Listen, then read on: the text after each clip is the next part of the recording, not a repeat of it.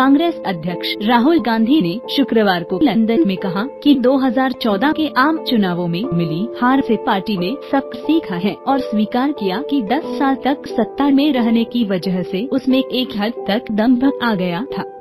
International institute of strategic studies में यहाँ एक सवाल के जवाब में गांधी ने कहा, आपको सुनना होगा। नेतृत्व का आशय सीखना है। दरअसल, राहुल गांधी से जब पूछा गया कि उनकी पार्टी ने 2014 में मिली चुनावी शिकस्त से क्या सीखा तो उन्होंने कहा, दस साल तक सत्ता में रहने के बाद कांग्रेस में कुछ हद तक दम आ गया था और हमने सब सीखा।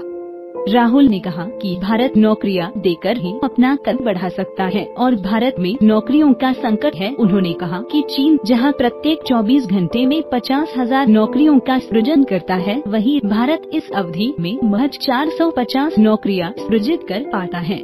उन्होंने कहा, भारत अपना प्रभाव कैसे बढ़ा सकता है जब आप मूल तत्वों की अनदेखी करते हैं? आप अपने कृषि क्षेत्र का समर्थन नहीं करते।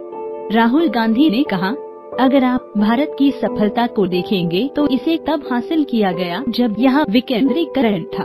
भारत के सर्वश्रेष्ठ और सबसे सफल शासकों ने सत्ता का विकेंद्रीकरण किया।